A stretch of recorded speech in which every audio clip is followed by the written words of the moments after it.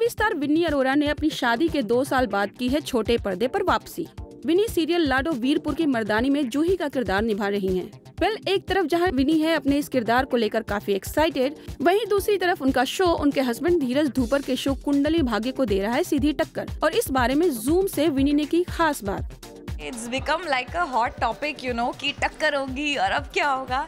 But the funny thing is कि personally हमने कभी आई मीन ऐसे कुछ डिस्कशन किया ही नहीं. In fact we laugh about it अब तो इट्स अ मैटर ऑफ़ मतलब एक बड़ा फ़नी सा कोइंसिडेंस ही है. सो आई थिंक हँसी की बात है और कुछ नहीं है. I am an actor I am here to work hard and I am going to give my hundred percent my husband is an actor he is going to give is hundred percent so मैं चाहती हूँ कि हम दोनों के shows अच्छा करें सो so, कोई टक्कर नहीं है कोई कुछ नहीं है। He is wishing me well and I wish him you know well obviously so बस दैट्स हाउ इट इज़ बाकी ऑडियंस के लिए हाँ आई नो अब क्या होगा वाला अब you know rivals and all that but it's all in good spirit